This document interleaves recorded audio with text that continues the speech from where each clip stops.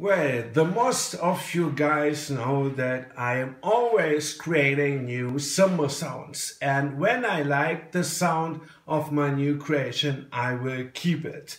And today I'm showing you how I create a cymbal sound that sounds almost like a flat ride cymbal by using my 18 inch crash cymbal.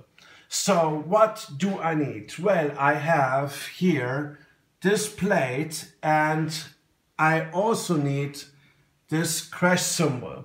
So what I'm gonna do is I put this plate under the cymbal and see what happens. But let me demonstrate first the cymbal without the plate. So I'm playing with my Rohema 5A speed stick the cymbal like that.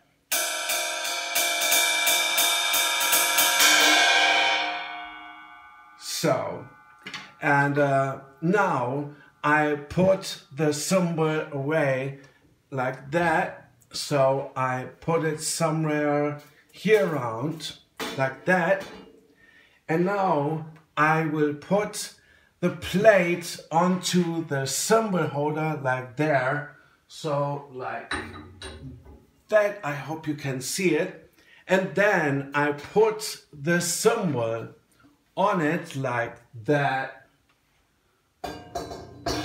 So I have put it right here. And now I'm using my drumstick and I play the cymbal right now like that. Wow, it sounds like a bit like a flat ride with a nice little rattling sound underneath it.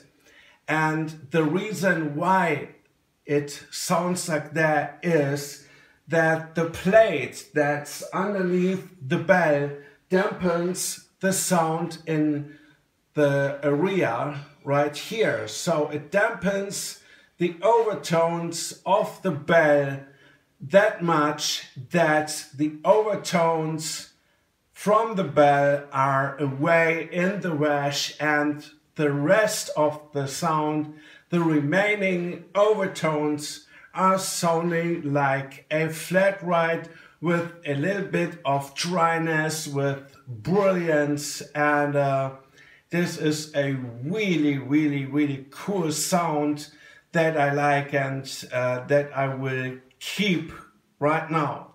So that's it for today. Thanks for watching. Thanks for subscribing.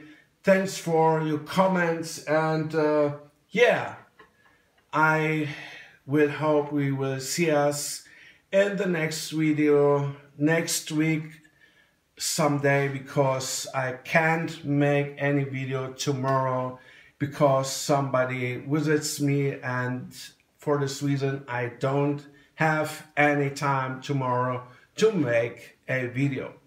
Alright, bye bye.